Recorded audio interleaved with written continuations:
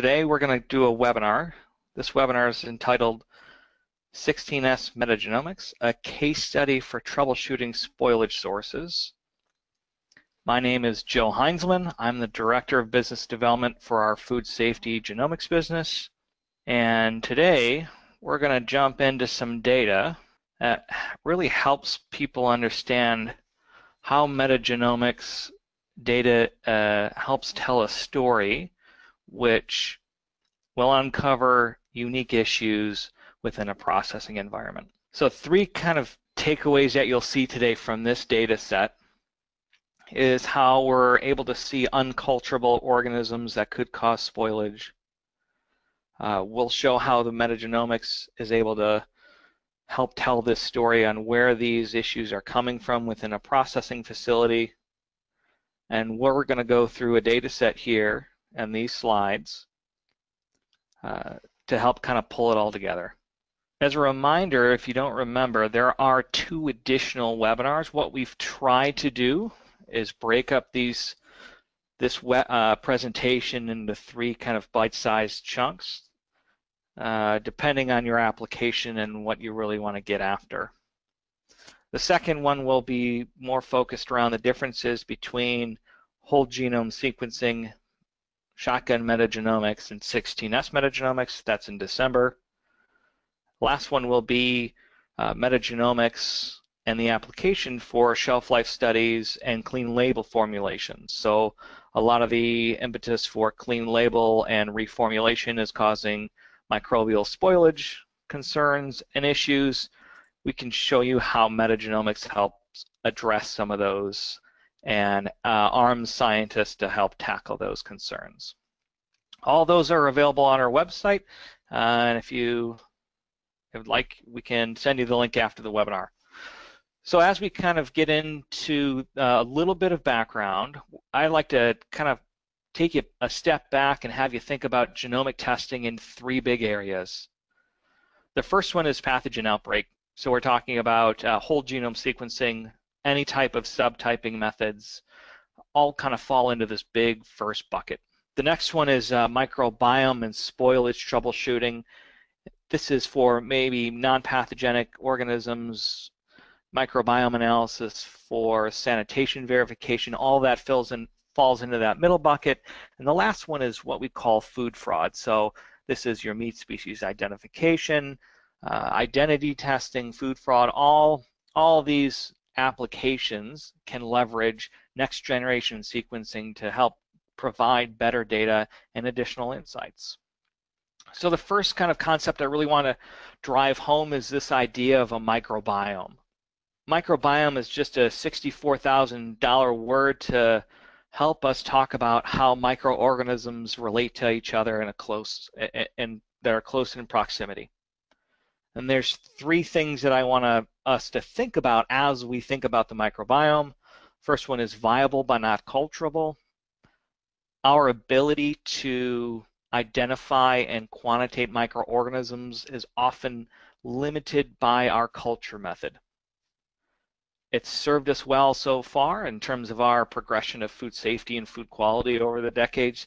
Uh, but this is, I think these new technologies are going to help us understand some things that we wouldn't have been able to see with traditional media. And that kind of leads into the next point is media biases.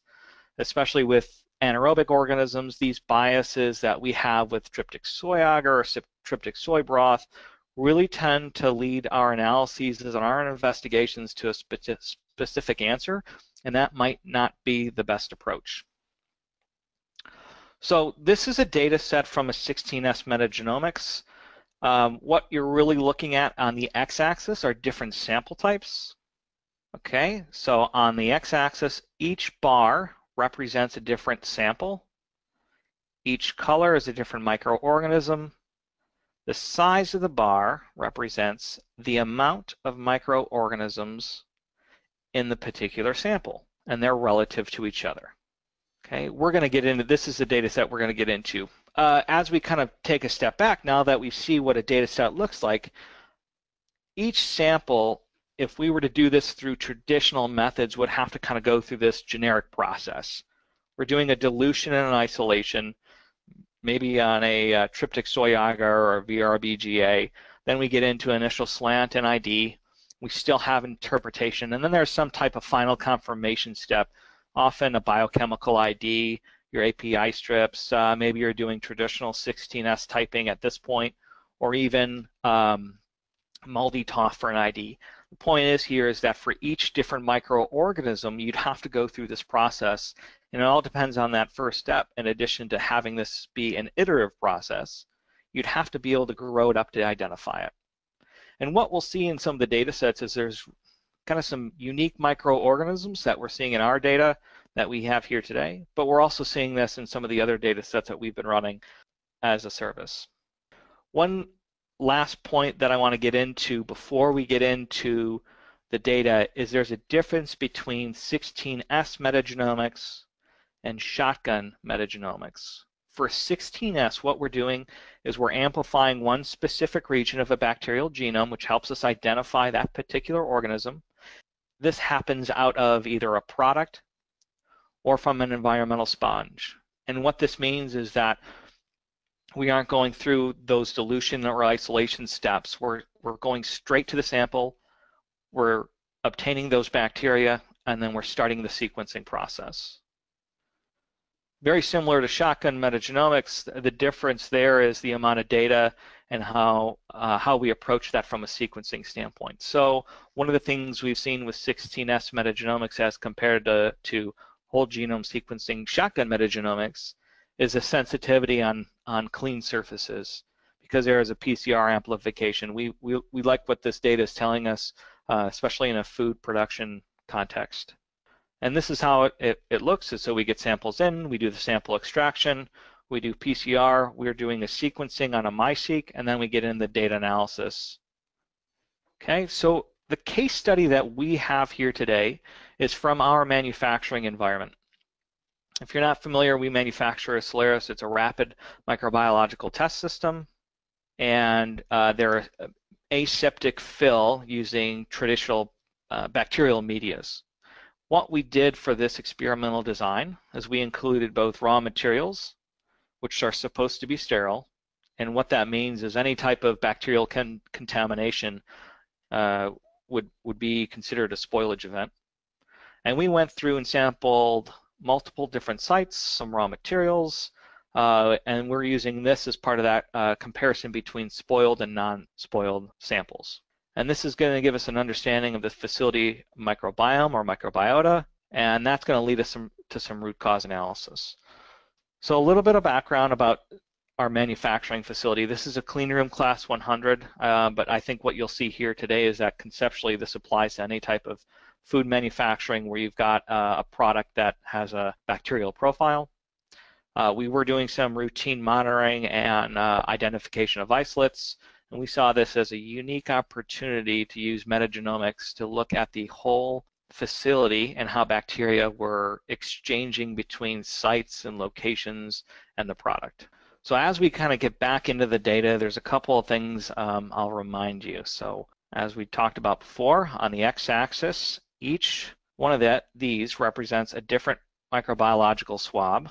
The color the colors that you see here are different microorganism, and the size of this bar represents the abundance of that microorganism. So on the left-hand side here, what you're looking at is nearly all Staphylococcus, and the sample is on the left, and then you can see that it's kind of sporadic throughout the facility.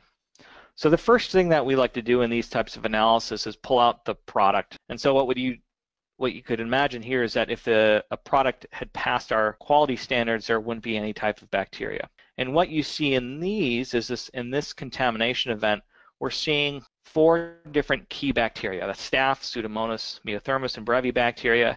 And there's another interesting piece of data we can pull out from this, this slide right here. What we're looking at are uh, two different contamination events. Specifically, these these samples here, and I'll pull the eraser off. Those samples there in the middle, right here, have a mixed flora that you see in these contamination events. On the bookends here for the staph and the Meiothermus, only one bacteria dominates that contamination event.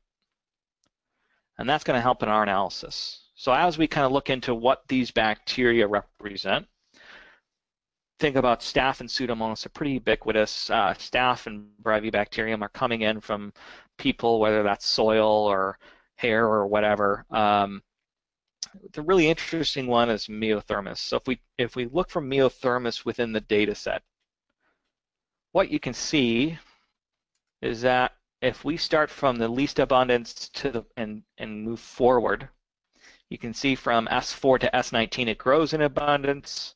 Then from S19 to S30 it gets even bigger. And that is kind of helping us point to S47, which re represents the contaminated product.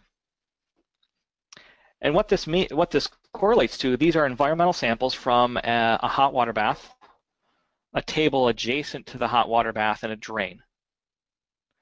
And it's going from smallest to largest. So the smallest abundance was in the drain. Table was the, the second bar we showed, and S30 on the left-hand side is that hot water bath. What's really interesting is if you look up Meiothermus, it's a thermophile. It forms biofilms it can be resistant to certain biostatic cleaners. All this means was that when we were in our manufacturing process, as a heat source, we were using a water bath. We were cleaning and draining the water. We'd come back after our sanitation event, uh, re-inoculate it with water, warm it up, and we'd have an opportunity for the biofilm to go uh, reproduce proliferate and cause issues. So what you'll see in the next data set is we went in there with some corrective actions. We pulled out the water bath, found a new heat source, and completely removed that. And the next data set is centered around a sanitation. So there's kind of two things I want you to take away. The first one, when you see this data set, is that there's no meiothermus. So from the first initial metagenomics run, we're able to identify the source and a way to prevent it from happening again. All right, so in this data set, what we've done is we've centered um, half the samples around uh, pre-sanitation and half post-sanitation. So if you remember the bacteria that we were really worried about is staph, brevibacterium, uh, and what we're seeing is uh, Brachybacterium indicia in the uh, pre-cleaning. So this is after some run time what we see post sanitation is really pretty interesting because we've been able to successfully remove almost all the staphylococcus, which is one of our key bacteria that are uh, causing the contamination. And we're seeing Brevibacterium and Brachybacterium.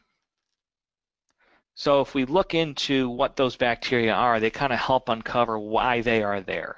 It's helping tell the story about the microbiome of this manufacturing facility. So Brevibacterium is a mesophile. It's halophilic. Alcohol intolerant, it's pretty ubiquitous like we talked about.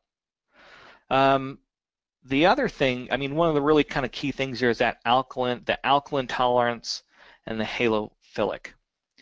When we looked at kind of the corrective actions and looked at the cleaners and sanitizers that were being used in these facilities, this facility, we're using an alkaline cleaner. The uh, phenylphenol and paratertiary amylphenol are both alkaline in nature. So if we look at how we're cleaning and what impact that has on the microbiome, now we have a, at least an understanding of where these bacteria are coming from and what we might need to do. So we're looking at the, the rotation of the acids and bases within this cleaning bacteria. We're looking at how uh, Brevibacterium could be introduced through people and the uh, and as I said before, we've removed the water bath, so our contamination source of Meiothermus has been removed.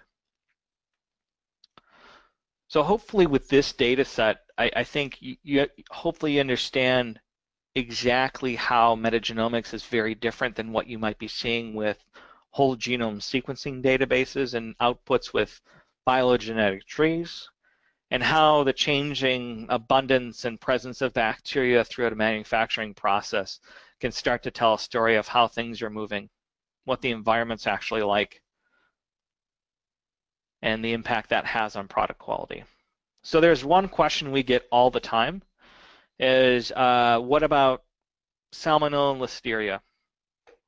So this this is a uh, has resolution to the genus, so we can't go beyond listeria species. We can, in our bioinformatics pipelines, turn off these bacteria. And the kind of the, our understanding is you'll have your own food safety programs in place to mitigate and monitor and address these hazards. And for a spoilage investigation, we can turn these off for that uh, particular experiment. And what you see in the two red boxes are samples that had been spiked with a Listeria species.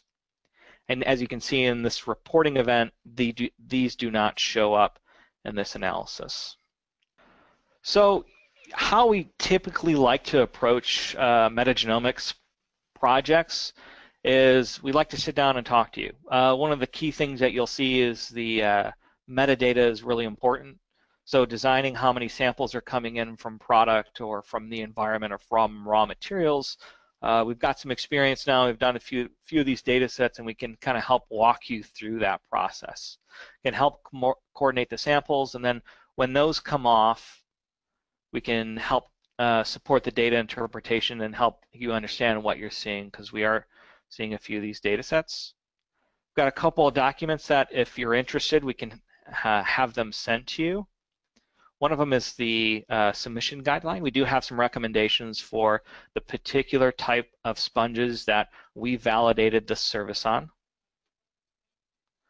Uh, we've got some sampling recommendations, and then the other thing are the submission forms that have a lot of the uh, data capture elements. So we can walk you through kind of the key things that you see or would want to capture to help that data interpretation become a lot easier. So just as a reminder, what, what we're talking about today is a service that we are offering. We are using the Illumina MiSeq. Uh, if we kind of want to get into the details a little bit, um, we do all the extraction. You send us in both environmental swabs or products, and what we do is we start to do that analysis. We do the extraction for you, and then 14 days after uh, all the samples have been to our lab, you'll have a report. Uh, this is part of a suite of products. If you're not familiar with NeoSeq as a brand of Neogen and this, uh, the service that we run out of our Lincoln, Nebraska genomics facility, it also includes NeoSeq STEC for ID and confirmation. This is a 24-hour uh, ID service that does the top seven uh, E. coli serogroups. The other one is salmonella serotyping, uh, three to five day turnaround time, and this uses a MiSeq as well. We talked about 16S metagenomics. We also do some of the food fraud aspects of this, which is meat species identification, and we are working for working towards whole genome sequencing services that will be kind of above and beyond what you see out there today. So with that, that kind of concludes this kind of brief data set. I would love to take some questions and maybe ask, uh, answer some of those. Um, based on what you've seen here in this data set. And if you have any uh, other comments, you can either find us on Twitter, LinkedIn, or email any of your sales reps or email me, um, and we can start to answer these questions. Thanks again for your time. Talk to you soon.